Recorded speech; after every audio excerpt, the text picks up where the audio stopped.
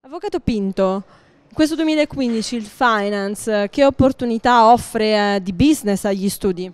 Direi che facendo parte di uno studio internazionale ho avuto sentore del diciamo, sviluppo di nuovo del real estate financing e del lending in generale, un mercato che a Londra è decisamente ripartito e che sta ripartendo anche in Italia, quindi direi che il lending sicuramente sarà un lending real estate, lending M&A sarà sicuramente un mercato da sfruttare, il mercato NPL continuerà a essere molto forte, vedo un pelo in eh, deflessione nelle ristrutturazioni, salvo forse ristrutturazioni di operazioni di structural finance che stanno arrivando a maturity in questo periodo. Questo diciamo, è diciamo un po' il trend che vedo io.